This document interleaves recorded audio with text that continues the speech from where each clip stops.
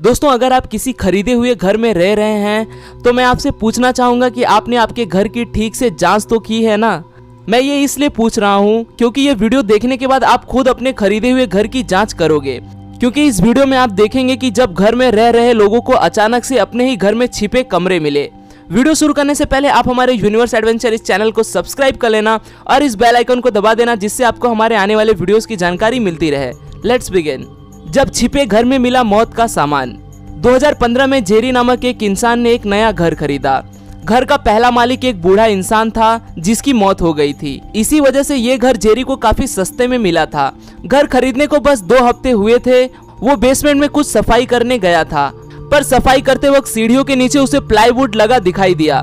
पर उसने प्लाईवुड तोड़ के देखा तो उसे अंदर पूरा एक कमरा दिखाई दिया, जिसमें मौत का सामान था। वहाँ बंदूक से भरे बक्से थे ज़िंदा गोलियाँ थी, कई बम थे, कई ऐसे बक्से थे जो काफ़ी भारी थे। जेरी से वो उठाए भी नहीं जा रहे थे। कभी यूज़ नहीं की गई गोलियाँ, बम से भरा ये कमरा पड़ा था।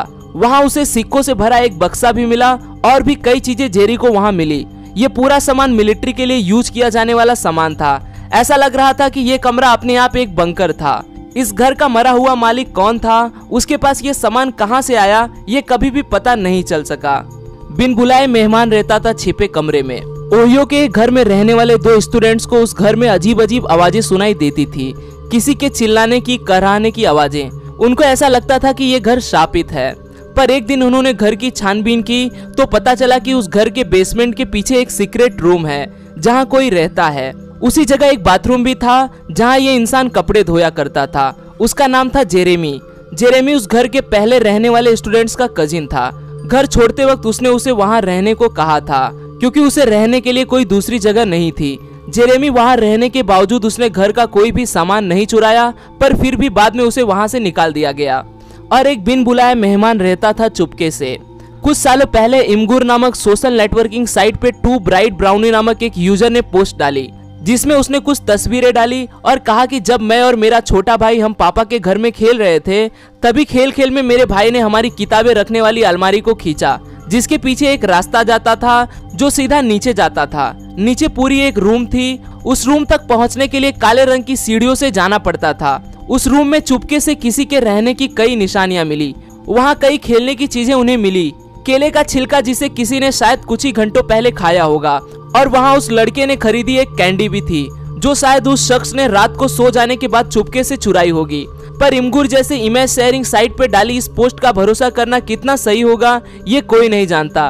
पर अगर इसमें जरा सा भी सच्चाई है तो ये बेहद दिलचस्प वाक्य साबित हो सकता है। जब छिपे कमरे में मिली नए घर मालिक को चिट्ठी। 2005 में जेसन और कैरी ब्राउन इस परिवार ने साउथ कैरोलिना में पचहत्तर हज़ार डॉलर खर्च करके एक घर खरीदी किया। कुछ दिनों बाद उन्होंने घर का नूतनीकरण करने की सोची और इसी के चलते उन्होंने घर की साफ़ सफ़ाई शुरू कर दी। साफ़ सफ़ाई करते वक्त उन्हें बुक बेस के पीछे एक सीक्रेट कमरा दिखाई दिया, जिसमें सबसे पहले एक चिट्ठी मिली।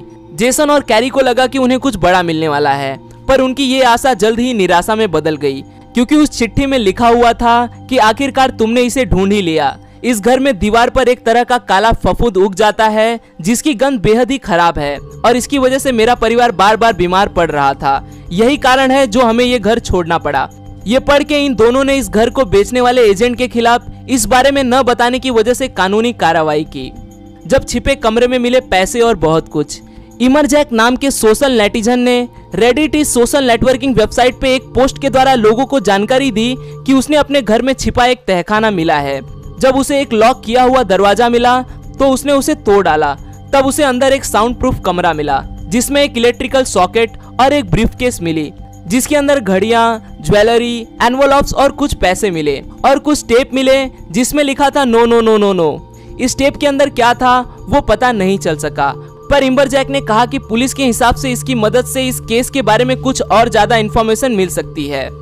आज के लिए दोस्तों, बस इतना ही। आशा करता हूँ आपको यह वीडियो पसंद आया होगा। अगर वीडियो पसंद आए तो उसे लाइक करना न भूलें। और आप इस वीडियो के बारे में क्या सोचते हैं वो मुझे कमेंट में ज़रूर बताएँ। फिर मिलूँगा दोस्तों एक नए वीडियो के साथ में। तब तक के लिए नमस्कार।